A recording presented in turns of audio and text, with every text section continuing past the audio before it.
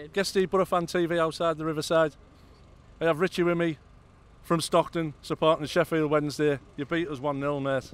It's brilliant, isn't it? After everything that's been going on at the club, absolutely brilliant. Especially this. This is my derby for me. You know, we hate the pigs down south in New Yorkshire, but this is just brilliant. I mean, like after everything that's been going on, we got rid of the manager, come back and get a 1 0 win, especially against you guys. Especially because you guys are a good team, good defence. You're all going for the promotion. You know, this means a lot to us. So yeah, brilliant. What were you expecting today? A defeat.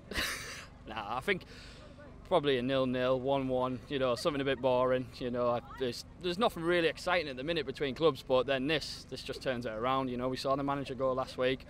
We saw a win the other week. You know, so you know things are on the up for Wednesday. Do you feel then? We'll sell. We'll sell for mid. We'll be mid-table this season, and then uh, next season, hopefully, you know, we'll see what happens. Adam Reach coming back to the Riverside, and scoring an absolute weldy. I don't know how he pulled that one from out there. I don't know. I, we couldn't. We couldn't see. It. I didn't even know it went in. I was just sat there. Like, how's he pulled that? But I'm going to go around his house tonight and drop off a Parmo for him.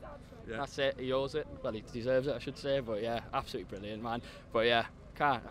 I'm gonna go. I'm gonna meet with all my Boro mates now, and we're just gonna have a good laugh and a good uh, celebratory pint. And then, would you like to come in full time for Sheffield Wednesday?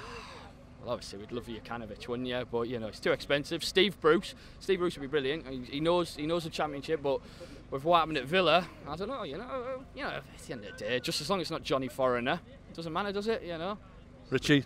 All the best, mate. Brilliant. Happy Thanks for coming on Boro Fan TV.